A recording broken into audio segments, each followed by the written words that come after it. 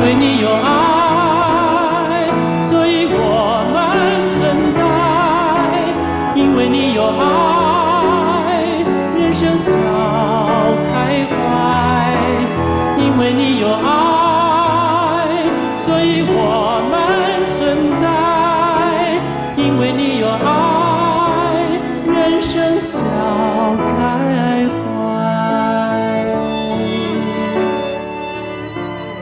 欢迎全球的观众朋友准时收看《音乐有爱》节目。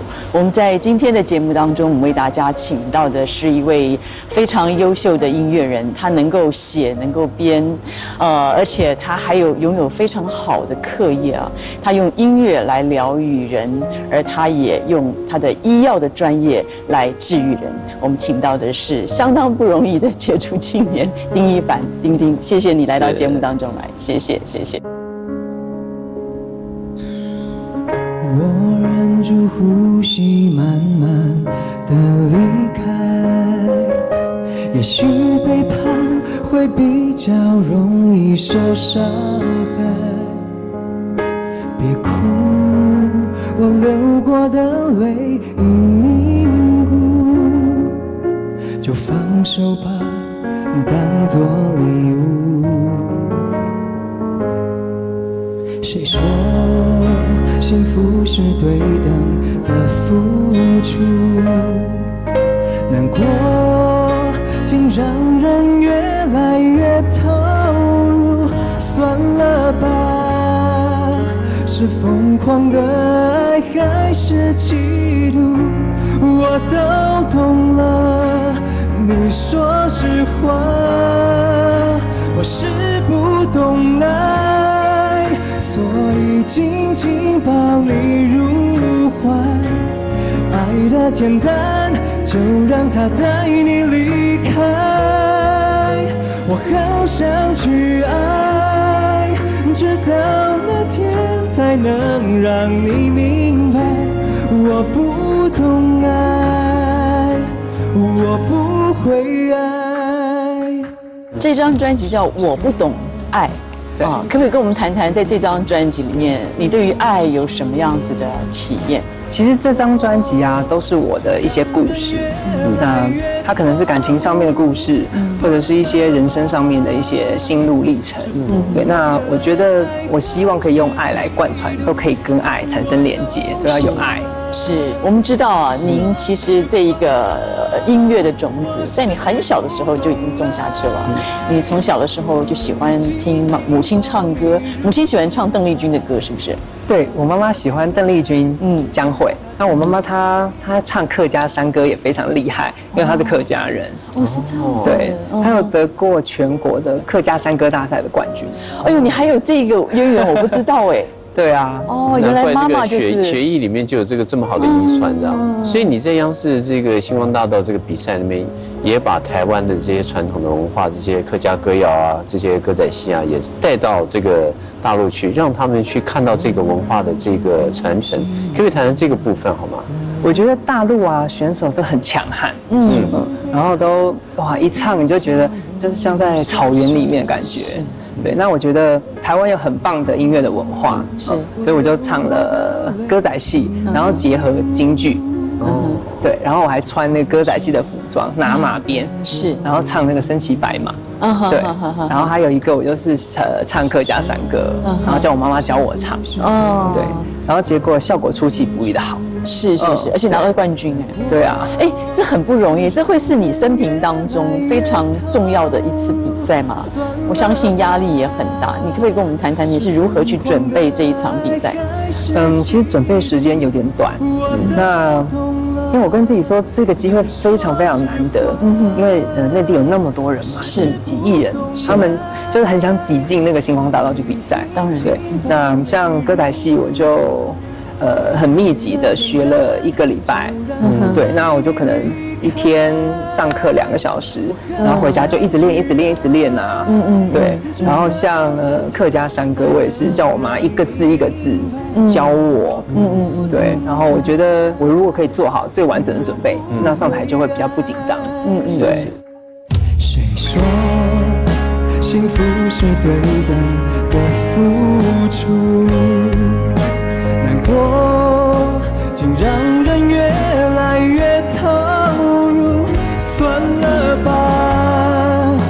是疯狂的爱还是嫉妒，我都懂了。你说实话，我是不懂爱，所以紧紧抱你入怀。爱的简单，就让它带你离开。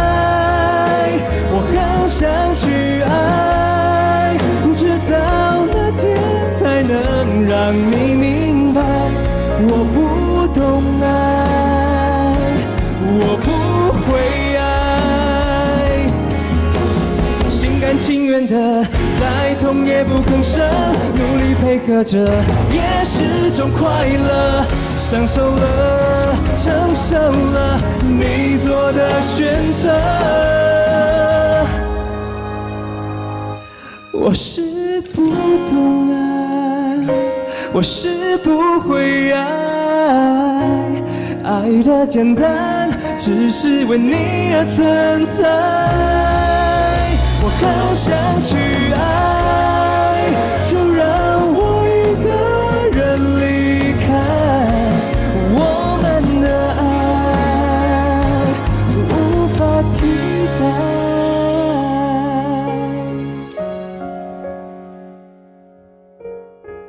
是讲一讲，就是说，呃，怎么样子去创作一首你认为可以感动人心的歌曲？呃，我相信你在这个药剂师这样子的这么繁重的工作当中呢，你还不放弃创作，表示说在创作当中，它确实像是呃你所做的这个呃药剂一样的啊，它其实是确实是有医疗人心的这一部分呢。可不可以跟我们谈一谈你这一部分？呃，创作对我来说其实是一种抒发，嗯哼，不管是自己亲身的感情的事情也好，或者是愤怒，嗯。呃，或者是开心，嗯。那我觉得可以用写歌的方式来表达，嗯嗯嗯，表达我想要跟大家说的东西，嗯哼。对，所以接触你的词曲会比较亲近你的人，是这样子吗？对，啊，确实，有时候我看一位这个词曲创作者啊，我觉得他创作出好伟大的歌曲，可是你看他本人的时候，你会觉得哇，他人好平凡啊。可是，一听他的歌曲，你就会觉得哇，他那个内在的那个澎湃的那个情感啊，让人真的是叹为观止。你们是不是对于词曲创作人来讲，就是内在有一股非常汹涌的一种情感，你们想要把它啊抒发出来，你们表达出来，而这是一个最安全的一个方法。嗯。嗯，所以其实生活周遭了很多的事情，然后在心里就会慢慢累积成一股能量，啊哈，对，然后呃，像我创作的方式有时候还蛮特别的，嗯。嗯，我其实有时候啊，我我在梦里面，我就会梦到一些很特别的旋律，嗯，然后当我一睁开眼那一刹那，我就赶快拿起我的手机，嗯。然后赶快用手机录录起来，嗯嗯嗯，对，然后就会收集嘛，收集很多段，嗯。然后再慢慢会诊，嗯。然后再帮他填上呃词这样。子。嗯，这就是所谓的灵感吗？对，这就是所谓的灵感。其实有时候我可能走路走路，或是洗澡洗澡的时候，也会有突然的灵感。可是我是觉得说我，我自己的灵感的来源是说，可能我突然之间有一个体悟，呃，体悟到一句话，或者是体悟到一一某种感觉。所以这个时候，其实大部分都是自让自己很孤独或者是很安静的时候，那个那个东西才会出现。所以你可不可以跟我们谈谈，你是如何去培养这样子的一个创作灵感？它是可以培养起来的吗？还是你呃有什么样子的一个法则？啊、嗯，我觉得要很细微的观察你周遭的所有的事情，嗯哼。也许是表情，别人的表情，或者是他说的话，嗯。对，那你一定会对这些东西有一些反应嘛，感觉嘛，嗯对，那呃，像我都是在很安静的时候，嗯哼就像以前我上大夜班的时候，嗯或者是在家很安静的时候，把窗户都关起来的时候，然后我就慢慢把这些感感觉写成文字，嗯哼或是唱出来，嗯哼呃用音符的抑扬顿挫、高音低音来把这些东西表达出来。我看着你微笑的侧脸，竟然有种说不出说爱我，这一刻值得纪念，把回忆收藏在爱里面。那条人来人往的街边，却让我们在人海遇见。对你的感觉像一首动人音乐，简单的旋律扣人心弦。那时候的我们很单纯，愿望不能实现。我会牵着你的每一天，去看世界改变，这是一场温柔的冒险。I only wanna be with you。我喜欢听你说爱我的全部，有一天你会发现属于我们的国度，让每天都有你的幸福。其实听听很有趣啊，就是说，呃，其实你是一个对音乐充满热情，可是你在做事情又非常的循规蹈矩，就是说，呃，像啊，父母希望你能够把学业念完，考上这个药师的执照，那你就是的确是给他们一个最好的交代，然后你又在这里面又是说，那我就选择大夜班，我来上班，我又可以在这个循规蹈矩的过程里面，我又找到自己的时间来去学习音乐上面的专业。可以谈这个部分，你的个性里面确实确实是有对音乐的那种冲动，可是你又在一个非常的保守的方法，然后又很循规蹈矩的方法里面去完成它。我可以说，其实这是属于我的一种叛逆的方式。对，因为从小爸爸妈妈都希望我可以有一个很正当的职业。嗯，那我觉得要孝顺父母最好的方式，就是不要让父母担心。嗯嗯，因为我从小是单亲家庭长大的小孩，那照顾好自己，我觉得是我呃很重要的一件事情。嗯嗯，对，那。后来考上了执照啊啊，考上研究所啊，研究所毕业了。那我觉得，呃，我可以给爸妈一个交代，那其实他们也会安心的支持我去继续音乐这个路。是是，对。你刚才讲到蛮重要一点，就是说，呃，要学会照顾你自己。这个部分有什么样子的一个体验吗？你可不可以跟我们多多的谈一谈？在自己从小，你可能就呃必须要完备自己很多的事情，嗯啊，然后这当然我们也在你的这张专辑里面看到，你很多的唱片的这些雏形啊，嗯，都是你自己希望能够亲自去参与的。这个部分所谓跟自己的照顾自己，你觉得对于你的这个人生来讲，呃，这个哲学啊有什么样的一个注意？嗯，小时候爸爸妈妈可能比较忙，嗯，那。呃，我觉得我应该是一个很会考试的小孩子，嗯，就是我我其实也很喜欢玩，嗯，可是我可能觉得，好，我今天很认真的把一件事情呃功课做完了，我就可以努力去玩了，嗯，所以我上课就会非常认真，嗯，然后做笔记什么之类的，嗯，那我就会用最短的时间把该做的事情做好，嗯，然后就可以去玩，嗯，对，那长大了之后呢，就也一样，嗯，就是呃。在考试之前或者上课的时候，我都非常认真，然后赶快把事情做好之后，我就可以去做我最喜欢的音乐，去练习唱歌。是，所以你从很小的时候就了解时间管理啊这件事情。对，对，把自己的这个分内事情、责任能够做好了之后，然后你会发现多出自己很多的一些时空，能够去完成自己的热情，去完成自己的理想。对，是这样子的。对。那条人来人往的街边，却让我们在人海遇见。对你的感觉像一首动人音乐，简单的旋律扣人心弦。那时候的我们很单纯，害怕愿望不能实现。我会牵着你的每一。去看世界改变，这是一场温柔的冒险。I only wanna be with you，只有你让我感觉不再孤独，就算有再多的挑战，我都全力以赴。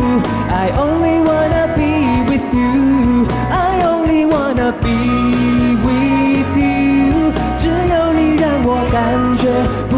再孤独，就算有再多的挑战，我都全力以赴。I only wanna be with you。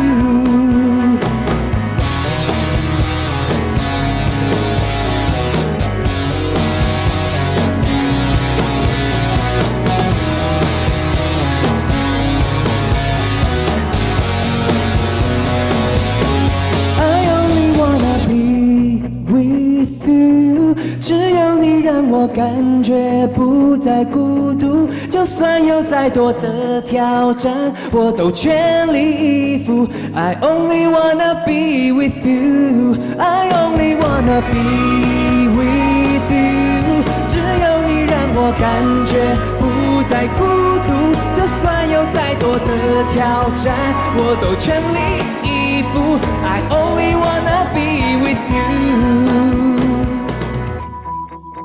你在整个的音乐生涯当中有什么样的计划吗？因为听说你你因为这个音乐事业，所以先你先暂时放弃掉你的这个药剂师的工作，是这样。的。呃，我对我觉得做音乐是一辈子的事情，哎，嗯嗯那其实当药师也是一辈子的事情，嗯嗯，所以我觉得呃两者是不冲突的，嗯嗯哦嗯。我一定可以好好的呃维持我的呃专业，嗯。可是我也一定可以就是有呃无穷的热情嗯。对音乐这件事情，是是，你知道我们在这个慈济哦，对于大医王，对于所有的医疗专业人员啊，是非常非常尊敬的，因为你们真的是在第一线啊，帮助这个最需要帮助的人。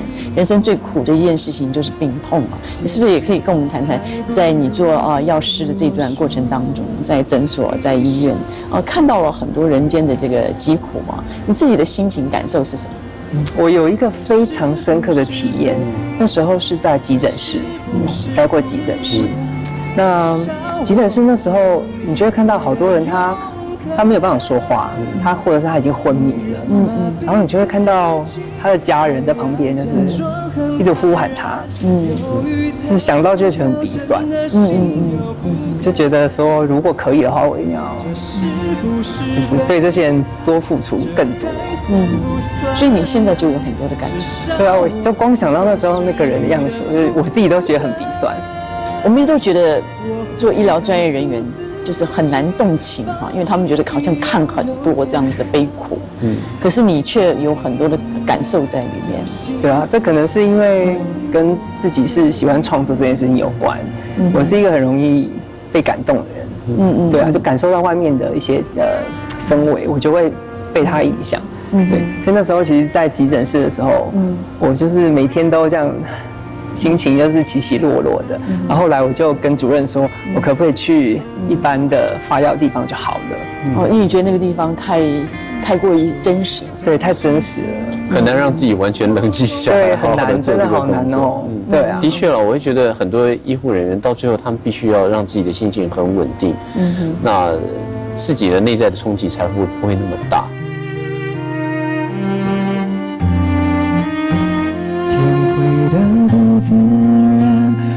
撑起你的伞，想着你最后姿态。谁感叹着无奈？谁选择了承担？问自己，就不会有人说出来。谁对谁错的恶性循环？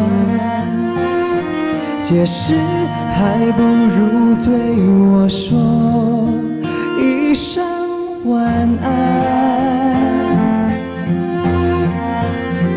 这是不是背叛？这是不是孤单？至少我还有你给的勇敢。宁愿麻痹自己，也要假装很坦然。犹豫代表真的心有不甘。这是不是背叛？这还算不算爱？至少我不会是你的负担。我会告诉自己，放弃比拥有简单。你答应要幸福，完美我的遗憾。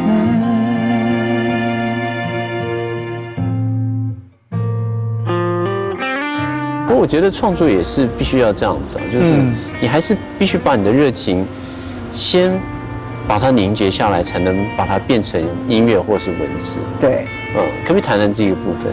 你终于是出了这些专辑，但是这整个历程来讲，其实走了一遍，嗯也蛮辛苦的。嗯，其实呃，人生上面的每一段路程对我来说都非常重要，不管它是高兴还是悲伤，嗯，那我都会把它像存档一样，嗯存在心里面。嗯哼，对。那我希望就是有机会的时候，有一段很好的旋律的时候。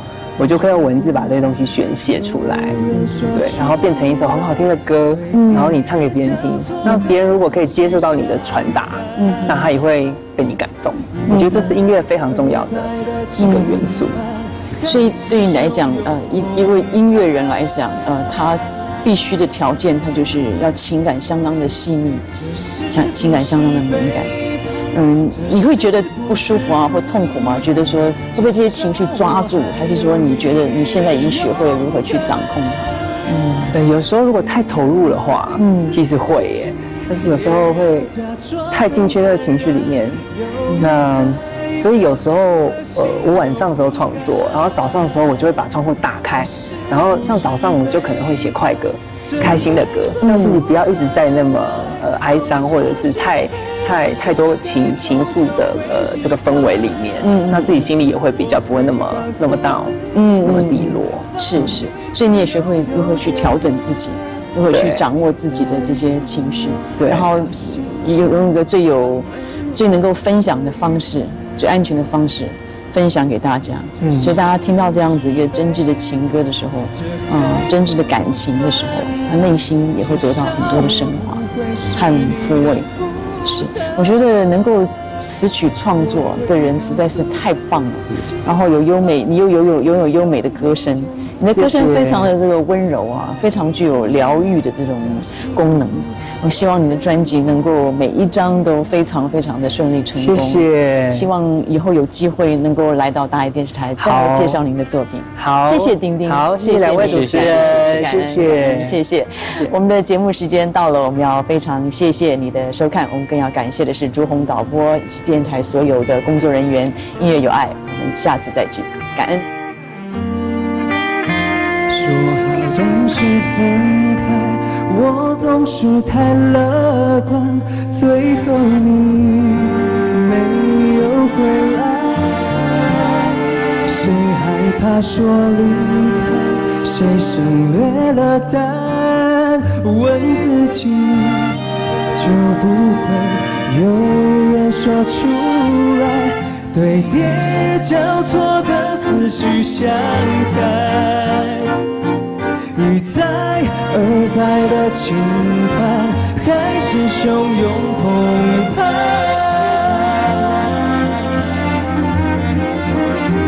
这是不是背叛？